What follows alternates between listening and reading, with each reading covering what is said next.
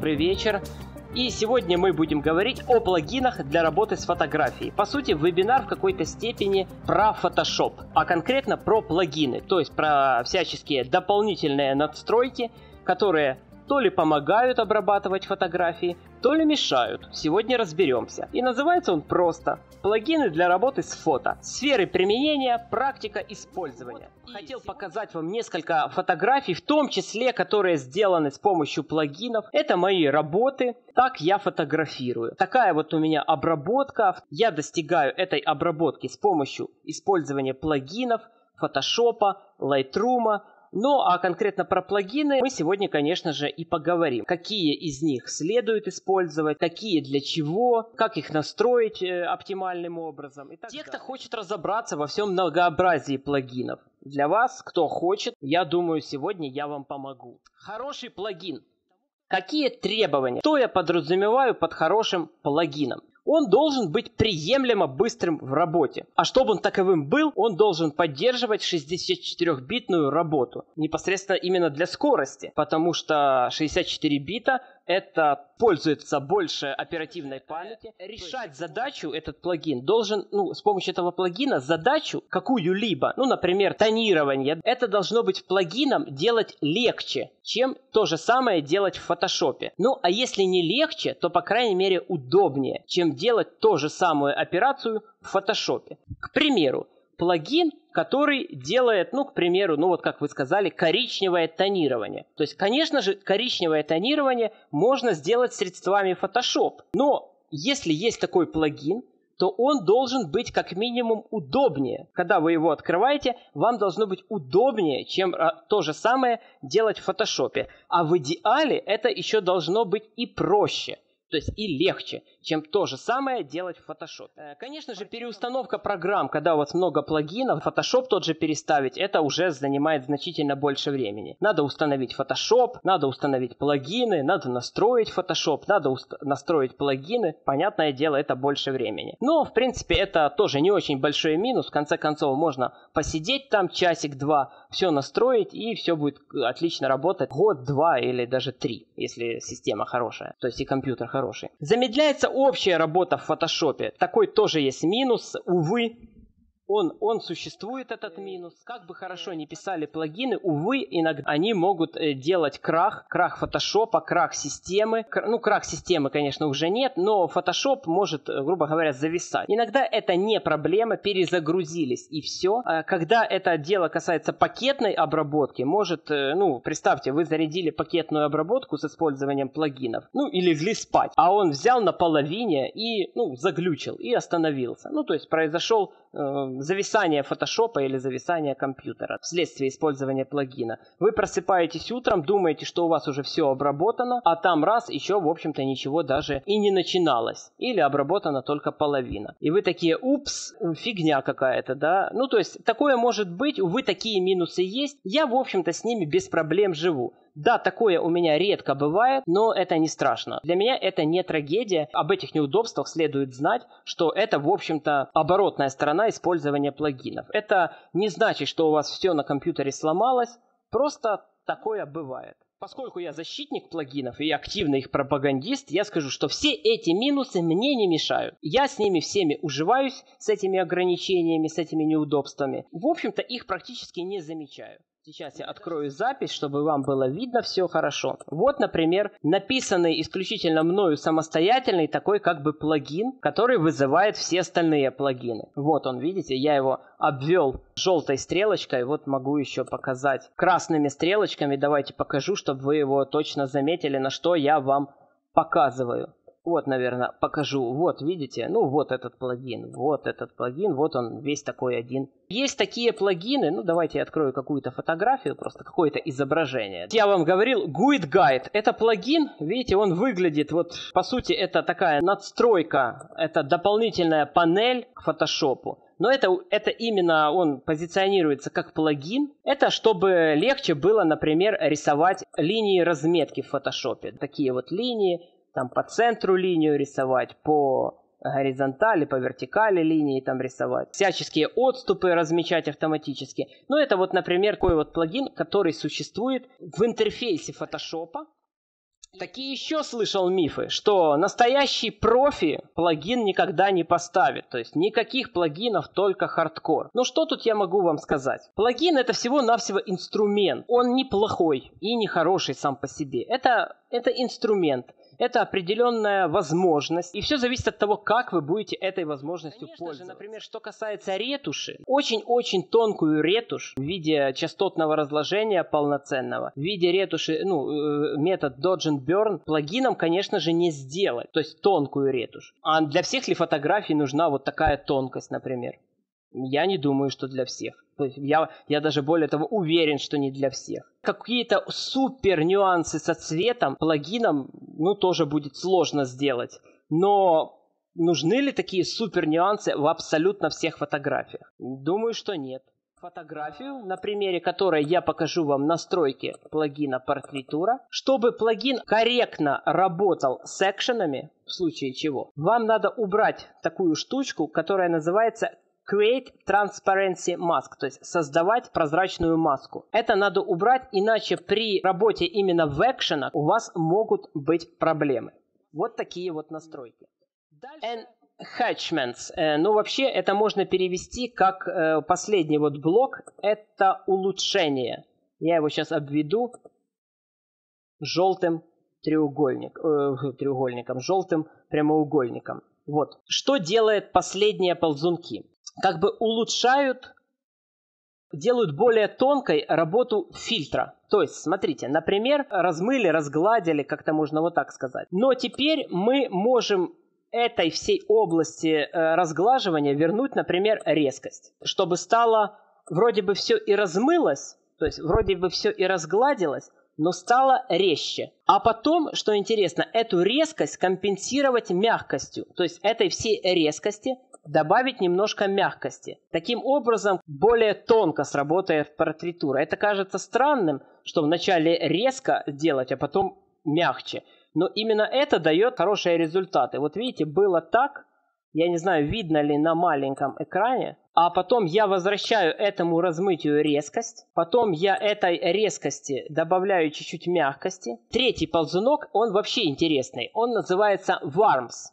Им можно управлять скинтоном. Смотрите, плюсиком, да, мы уже выбрали область кожи, а теперь можно менять оттенок этой кожи, то есть выбранной. То есть таким образом мы не только можем разглаживать кожу, но мы можем менять ей оттенок. То есть, например, сделать более красный, но я сейчас специально утрированно делаю, чтобы вы видели, или сделать абсолютно бледный.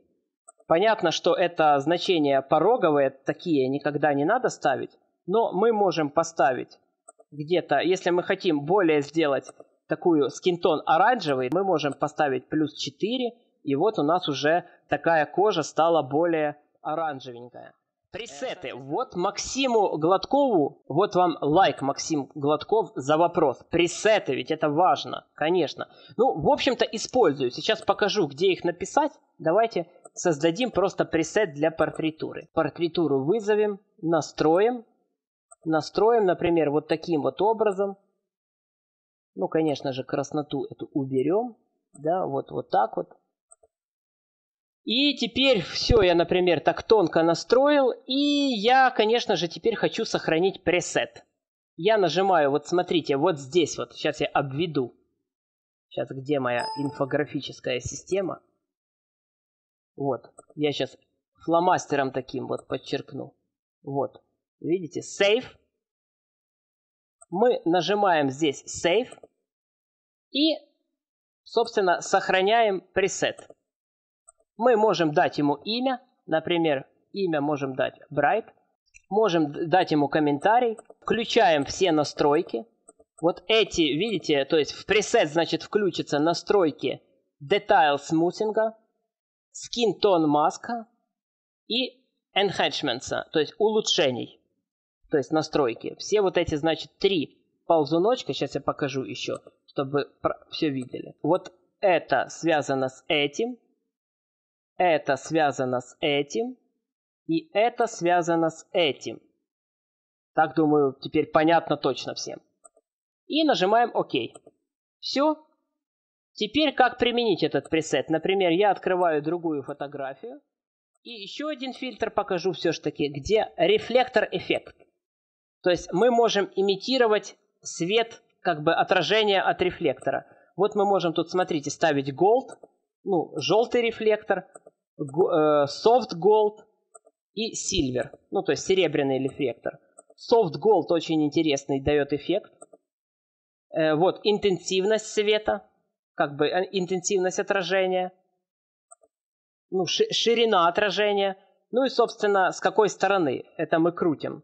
Вот с какой стороны, видите, он по кругу крутится, как бы рефлектор. Вот, вот с этой стороны как бы подсветили рефлектором, он тени, заметьте, высвеч... высвечивает. Видите, в глазах тени, а теперь как бы рефлектор бац на них и посветил.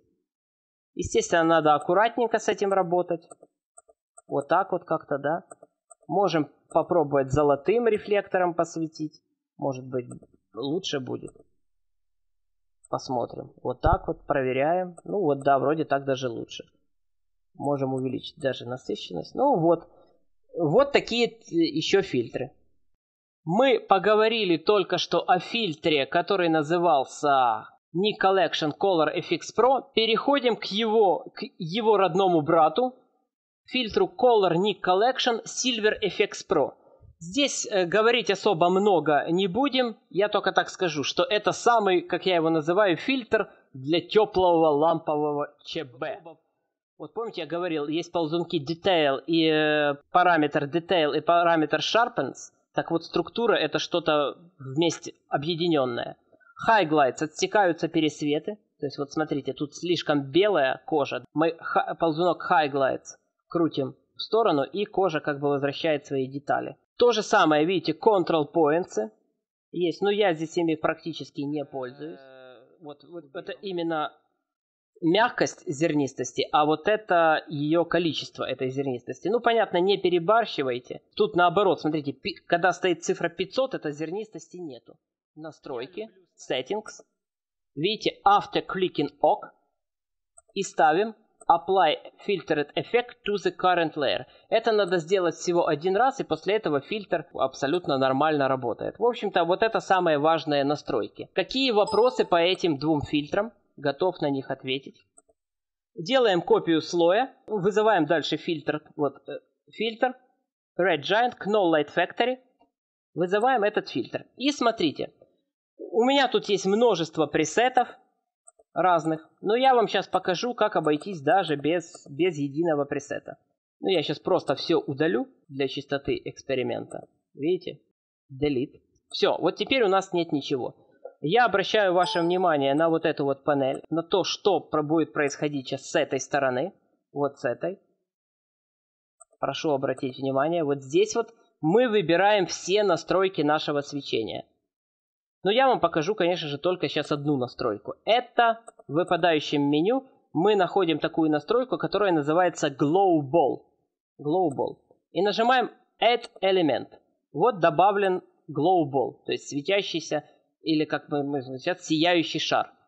Вот мы можем его, видите, вводить по картинке, где он будет светиться. Конечно же, надо определить, откуда был свет, и этот свет как бы на фотографии усилить. Дальше настройки глоубола. Они находятся вот здесь вот. Вообще все настройки вот этих свечащихся элементов. Ну, собственно, мы можем яркость да, добавить этому цвету. Дальше, как бы, ну, вот радиус, мягкость цвета. И мы переходим к плагину, который больше подойдет для людей, которые занимаются дизайном или которые занимаются э, версткой фотокниг и так далее. То есть это больше такой дизайнерский плагин. Он называется Alien Skin Snap Art. Для того, чтобы продемонстрировать работу этого плагина, я открою не фотографию, а открою просто какую-то текстуру, заранее заготовленную. Ну, вернее, какой-то фон. Сейчас вы поймете, для чего этот плагин. Например, я хочу использовать э, для книжки ну, для, под, для фотокниги хочу изготовить какую-то подложку. Ну, и вот у меня какая-то уже подложечка есть. Например, вот такая. но она мне не нравится, например. Или я ее уже один раз использовал, а мне хочется ее как-то разнообразить. И для этого хорошо подойдет плагин, который называется Alien Skin Snap Art. Ну и в заключение, поскольку вопросов я не вижу, написал такие несколько помятка такая, да, памятка. Тренировка красоты. Помните, чтобы у вас не получалось какой-то жести и какой-то фигни, помните, любой эффект и фильтр должен быть оправдан.